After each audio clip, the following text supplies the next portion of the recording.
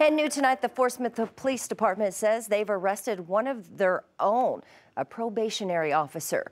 The department tells us Ashton Ligon was arrested on a warrant of domestic assault in the third degree on a family or household member.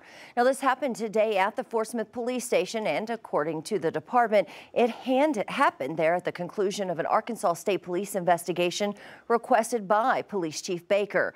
We're told Officer Ligon was already on paid leave due to other allegations of serious misconduct unrelated to the arrest. We'll continue to follow follow up on this investigation and bring you what we find as soon as we have more details.